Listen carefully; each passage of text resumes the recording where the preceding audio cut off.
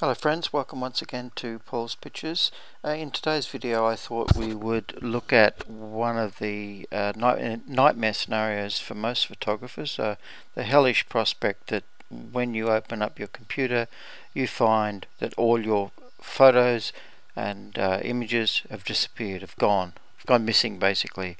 Uh, this was a scenario that uh, confronted me recently and naturally it gave me quite a fright um, but fortunately after some research I was able to solve the problem and it's a relatively simple issue uh, to sort out so uh, first of all we'll open Lightroom up and you'll see what I was confronted with once Lightroom gets going Now my catalogue is called Paul's Pictures. We need to bear that information in mind as we go through. Um, and once the the thumbnails are loaded you'll see why I was so uh, shocked and panicked when I saw what I saw. You'll see all these horrible little question marks on the images.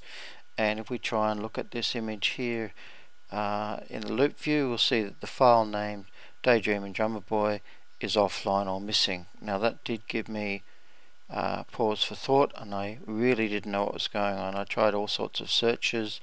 You, you, you can find the location. You can look for look for the, you know go to the folder in the library. You can um, find missing images. There's all sorts of things, but to no avail. Nothing worked. So after some research, as I said, I did solve the problem, um, and uh, you will see the solution is quite simple, and there's no need for panic. First thing you need to know is that I store all of my images off the main off the computer drive. I have portable hard drive, a master drive, and also a uh, backup drive, which you know I back up obviously every now and again. Now, the name of that master drive, as far as Lightroom is concerned, we'll have a look at that now.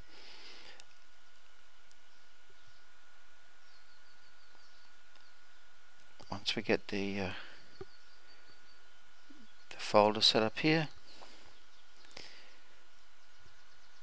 Paul's master, Paul's Photos Master Blue. Uh, the, and the reason it's called blue is obviously the name of the sorry the color of the drive itself is blue. Now it's called on this. Uh, you'll see the G in brackets afterwards.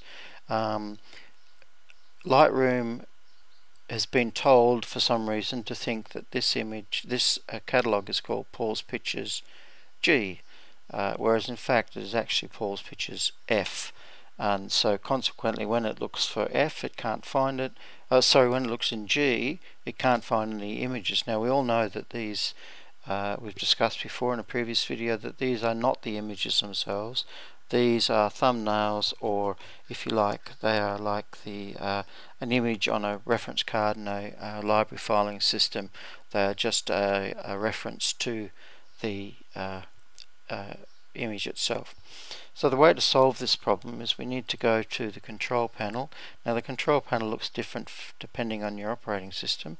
I have Vista Ultimate, um, so mine looks a certain way, but if you have Windows 7 or XP or something like that, then obviously it's going to be slightly different, but the principles will be the same.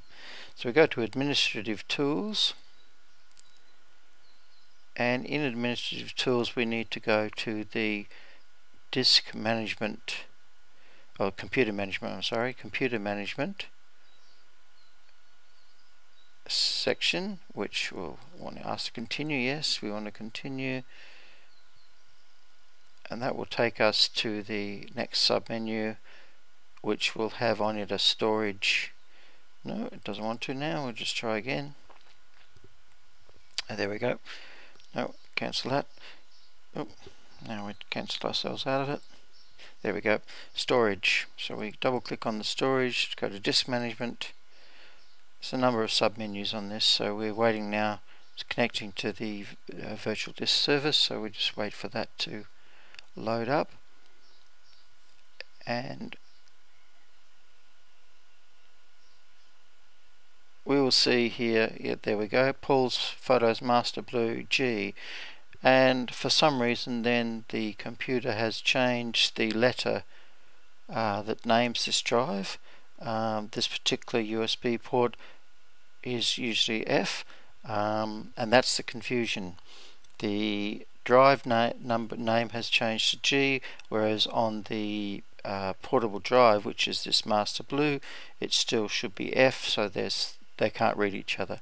So all we have to do is change this back. And, and that could happen for a number of reasons. Uh, it could be that you have unplugged your portable drive from that um, from that port.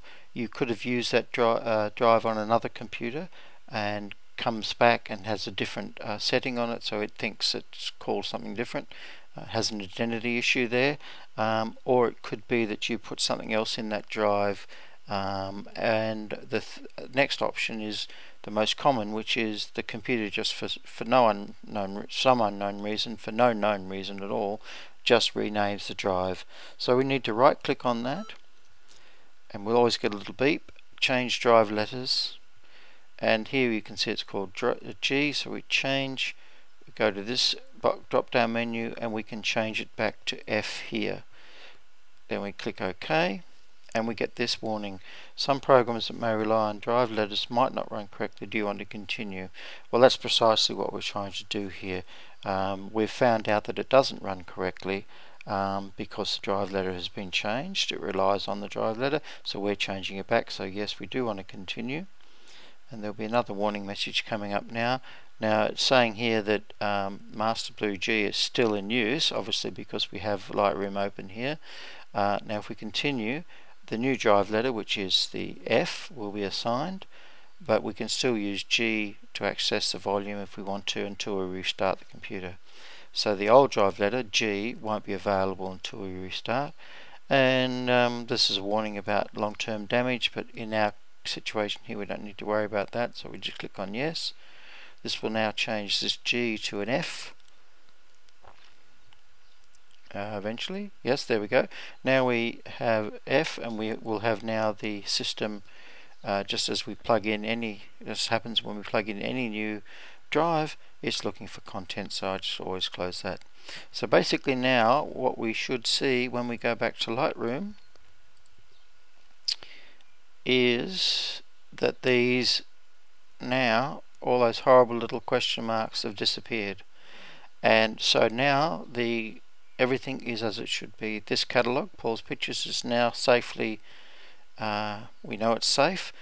It's still on the uh, portable drive where it was always stored, but now we have compatibility between the USB port and the catalog name, which is that F drive. So that's basically a simple solution to what at first appears a major problem, um, and particularly in my case, where you'll see that I have almost 20,000 images.